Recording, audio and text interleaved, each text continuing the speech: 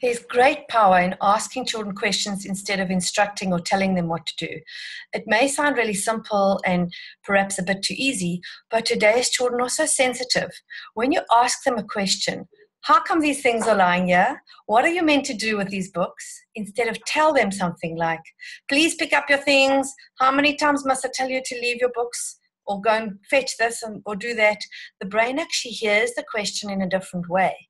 So we know from neuroscience that children can't learn well under stress. They also don't cooperate well when they're feeling stressed.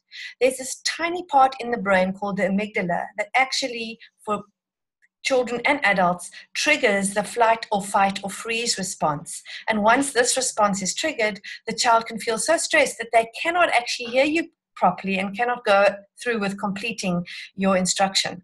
So, one of the things I've seen in my practice and with children all over the world is that asking is a much gentler way than telling. So, asking invites the child not only to be calmer, but also to self reflect. So, that gives them great self esteem because they're thinking about the answer for a moment, they're giving you the answer, and then, of course, they also have a choice in going ahead and cooperating. So, this all empowers them.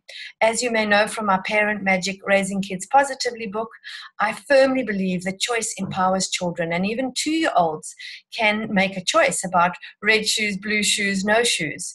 So, choices is another video, of course.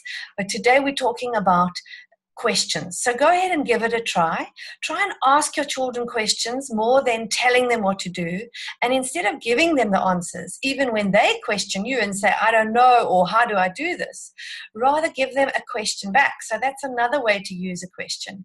And we also speak about open ended questions the where, what, who, when we don't include the why, which is a lot better than the closed ended, did you do this, did you do that? So go ahead and give it a try, asking rather than telling and instructing, and giving your child a chance to improve their self esteem. Please like this video and subscribe, and you'll be getting your weekly updates every Tuesday. Thanks and have a great day.